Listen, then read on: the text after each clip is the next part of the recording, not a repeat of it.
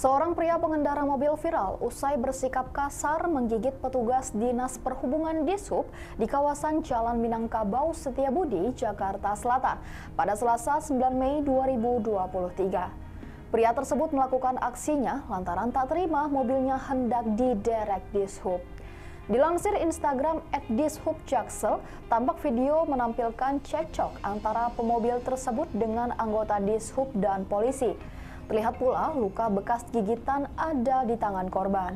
Kasih Ops Suku Dinas Perhubungan Jakarta Selatan, Emiral menyebut mulanya petugas hendak menertibkan mobil pelaku karena parkir liar di jalur sepeda. Saat itu pelaku hendak kabur saat akan ditertibkan. Petugas menghadang dan mencoba mencabut kunci mobil pelaku. Alih-alih kooperatif, pelaku justru malah menggigit tangan anggota dishub. Akibatnya ada bekas luka gigitan pelaku di tangan korban. Kemudian petugas BRIMOB yang bersama petugas dishub mengamankan pelaku dan sempat terjadi perdebatan.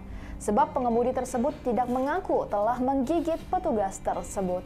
Ikuti terus berita menarik lainnya, jangan lupa like dan share seluruh akun Tribun Medan.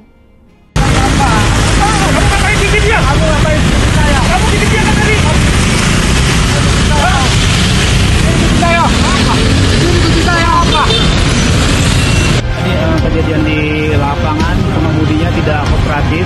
Jadi saya berinisiatif untuk coba matikan mesinnya tapi digigit tangan saya.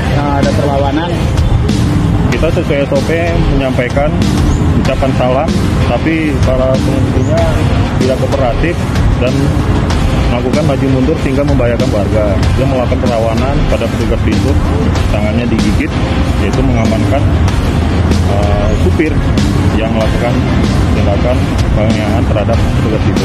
Kejadiannya di Jalan Minangkabau, Jakarta Selatan, Jalan Minangkabau, Jakarta Selatan, Manggarai. Demikian.